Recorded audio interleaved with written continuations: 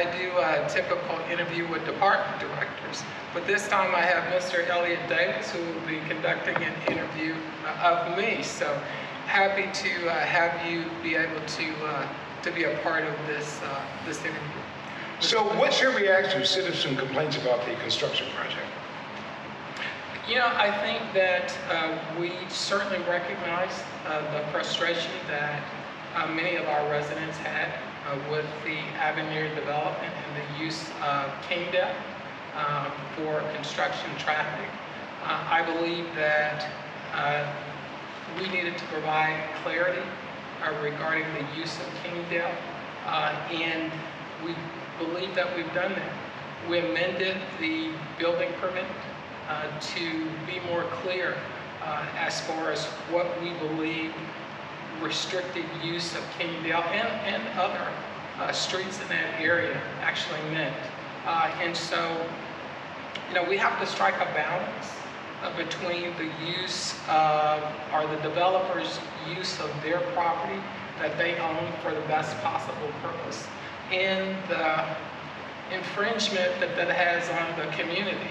And so we think that we've done a good job in making that balance.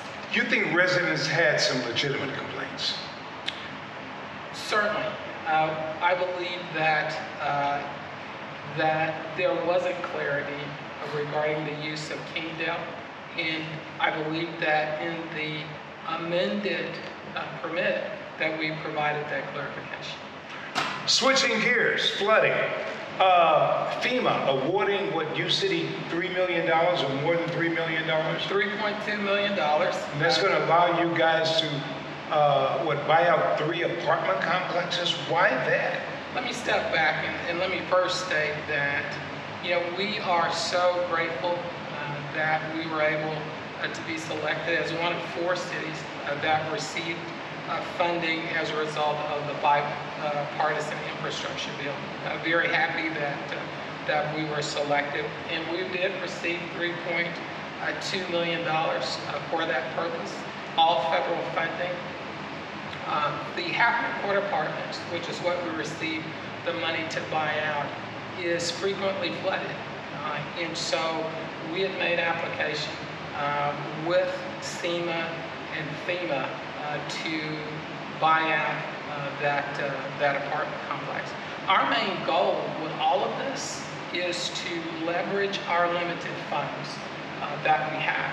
And so, and so what we do is try to work with, partner with, whether it's SEMA or FEMA, whether it's the Metropolitan Sewer District, uh, so that we can leverage our limited dollars. But, let me, let me, one more thing. Good. Uh, want to certainly express my appreciation uh, to Congresswoman Bush, who's been a real champion uh, for our city and trying to help us address the severe flooding that typically occurs here in University City that drastically impacts our residents. So what about like the residents along Wilson?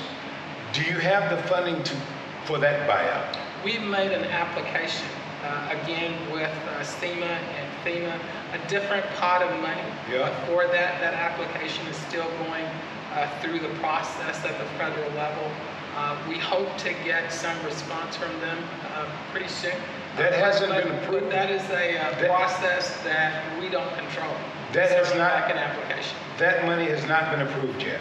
No, it has not. So the money for the citizens hadn't been approved, but money for some apartment buildings have. How's that work out? That's a question for the federal government uh, and the state government. You know, from our perspective, we simply see the uh, the pots of money that are out there. We make application, Okay. and we have to follow uh, their guidelines and their rules. Uh, we don't determine as the city, you know, which one gets funded first. We want them both to be funded, and, and we're very happy. I don't want this to, to be misconstrued. We're very happy uh, that the federal government did fund our, our buyout of half. Who made the, who made the decision to fund the apartment buildings as opposed to funding the residences? Because you've had obviously a lot of people and homeowners who've been struggling and they're waiting and it's been just a terrible time. They're not getting funded, the apartments are. Who made that decision to fund the apartment buildings? Well, let me just state it's not an either or. Uh, They're not mutually exclusive, that we went after funding for both uh, in roughly around the same time uh, for both. It just so happens that this funding source was available. Uh, The federal government uh, selected us one of four uh, jurisdictions. Uh, And so, yeah, we're very pleased. We certainly hope that they uh, work with us and- and end up funding uh, the other properties that, that we're seeking to buy out. So are you saying that the, the, those homes on Wilson that you want to buy out, the city obviously, they may not get bought out? That's a process that we're going through. We've met, we've done everything that we can. We've made application uh, for the buyout. We've indicated our intention to uh, provide some funding that's required. It's 25% match. Uh, The mayor and council have identified the uh, funding source. uh, And ensure, you know, uh, is there a possibility? Uh, There is always a possibility that you're not going to get uh, federal funding, but we have no reason to believe at this point that we won't be funded. If you're not, what happens to those residents on Wilson if they turn you down?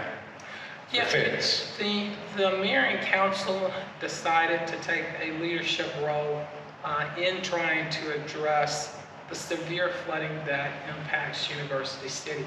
Uh, And so in doing so, the first project, as you know, was a detention basin uh, Right, project. but I'm asking specifically let- about let me the finish homes this. Let me on finish this. Wilson. I- I'm gonna get to that. I'm gonna What get to that. happens if you don't get the federal money for? I'm going to certainly get to that, but let me, let me put this in context. Uh, So the mayor and council took a leadership role. It's not something that they were required to do. There's no, nothing in our charter that says you have responsibility uh, for stormwater runoff. Now, I think there is a regional agency that does have that responsibility. But the first project uh, was the detention basin project, which not only helps that group along Wilson, uh, it helps a vast majority of the residents that frequently flood. Those on Vernon, as you know, as well. Uh, And so we are going to continue to pursue the detention basin project to get funded, even if the federal government decides not to award us the money uh, for the buyout program on Wilson. What happens to those homeowners if that federal money doesn't come through for buyout? Certainly, we believe that the detention basin project is going to benefit all But residents. we're talking about in terms of a buyout. What happens to them if those federal funds don't come through? If the federal funding doesn't come through, then they will still benefit from the detention basin project that will be constructed. But they won't get a buyout. but they will not get a buyout uh, at this time. Uh, So our intention is to help as many people as possible. Uh, And we believe that the best way of doing that is twofold. Uh, One is to make sure that we move forward with the detention basin project, which we intend to do. Uh, And secondly, to try and leverage our funds so that we can buy out uh, homes uh, that are most frequently flooded.